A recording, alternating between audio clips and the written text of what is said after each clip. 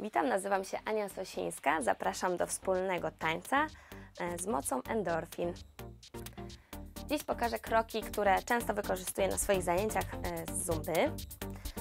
Jest to bardzo łatwy krok, można się przy nim super właśnie zacząć bawić, poczuć pewnym siebie, bo nie trzeba za dużo myśleć. Stajemy sobie prosto, rozluźniamy całe ciało. Zaczynamy od małego kroku, prawą nogą w przód. Raz.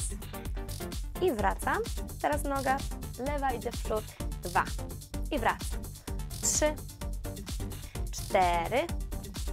Pięć. Sześć. Siedem. Osiem. Nie ma takiej możliwości, żeby ręce trzymać wzdłuż ciała. Unosimy je, zginamy delikatnie w łokciach, rozluźniamy łok y, y, ramiona i jedziemy jeszcze raz od prawej nogi. Raz, dwa, trzy, cztery.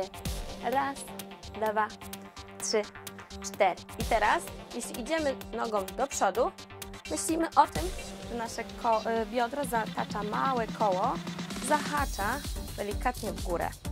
I jeszcze raz. Raz, dwa, trzy, cztery. I teraz, kiedy łączę nogi, delikatnie relaksuję kolana, schodzę troszkę niżej i znowu do przodu. Raz, górę, dół, górę, dół, górę, dół, górę, dół, górę, dół.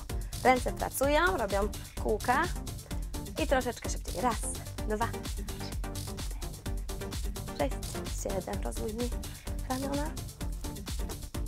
Pięć, sześć, siedem, osiem. I do tego możemy sobie dodawać różne e, akcje rąk, na przykład ręce do boku.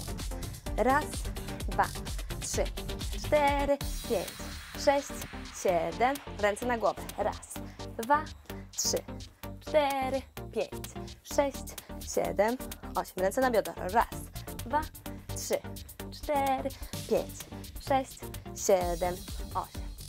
Dziękuję bardzo za wspólną lekcję zumby i do zobaczenia w kolejnym odcinku. Pozdrawiam.